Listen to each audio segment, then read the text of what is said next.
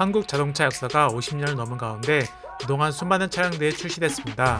국내 완성차 업체는 물론 수십 개의 수입차 브랜드까지 한국 시장에 진출하면서 매달 신차가 쏟아지고 있습니다. 수많은 차량들이 새로 출시되고 인기가 떨어지면서 다시 사라지는 것을 반복하고 있는 가운데 꿋꿋하게 자리를 지키고 있는 차가 있습니다. 현대차 소나타입니다. 소나타는 1985년 첫 출시 이후 지금까지 8세대를 거쳐온 국내 최장수 모델입니다. 대한민국 자동차 시장을 오랜 기간 주름 잡으며 세단은 소나타라는 인식이 아직도 남아있는데요. 한때 국민 세단으로 불리며 장기 집권했지만 최근에는 대형차와 SUV를 선호하는 흐름에 따라 인기가 떨어지면서 과거의 위상을 보여주지 못하고 있습니다. 하지만 현대차는 이번에 새로 바뀐 신형 소나타를 내놓으며 옛 명상을 되찾겠다는 각오입니다. 신형 소나타는 우선 디자인 부분에서 그야말로 환골탈태했습니다. 이전 쏘나타 디자인이 메기를 닮았다는 혹평을 받으며 판매가 부진했던 점을 감안해 부분 변경 모델임에도 디자인을 확 바꿨습니다. 가장 눈에 띄는 부분은 전면부입니다. 현대차가 최근 밀고 있는 family look인 일자 눈썹을 적용했으며 헤드램프와 라디에이터 그릴, air intake를 하나로 합친 통합형 디자인으로 역동적이면서 wide한 이미지를 표현했습니다. old한 쏘나타 이미지에서 벗어나고자 미래지향적이면서도 세련된 느낌을 살리는데 중점을 둔 모습입니다.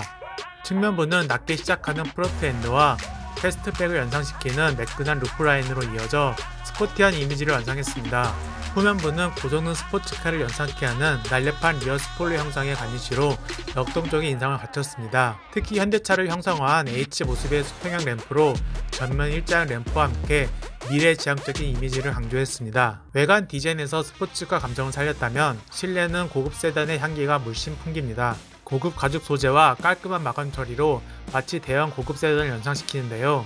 계기판과 인포테인먼트 부분이 하나로 연결된 panoramic curved display를 탑재해 각종 정보를 한눈에 쉽게 볼 수 있습니다.